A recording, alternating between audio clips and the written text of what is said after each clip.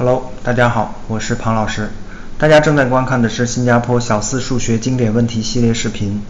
讲解中我会尽量还原做题思路，帮助大家提升解题水平。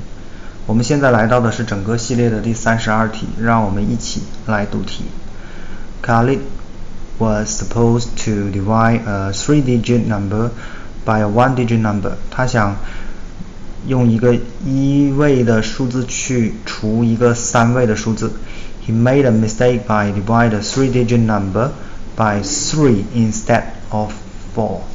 哎呀，其实这个地方他已经告诉你了，他本来是要用四来除的，这个 one-digit number 其实就是呃是四嘛，对吧？然后呢，最后他说他得到了一个不正确的答案是二百零八。这时候他因为他是除三得到二百零八的，所以我们把二百零八我们直接就乘三了，我们就会得到六百二十四。然后这时候呢，他说 What should be the correct answer？六百二十四，divide by four，最后我们得到一百五十六。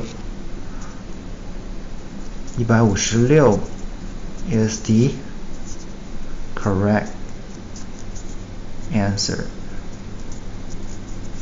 这道题其实非常简单啊，但是把它当做一个大题来出出来呢，主要是要考一考大家对这个题意的理解，好吧？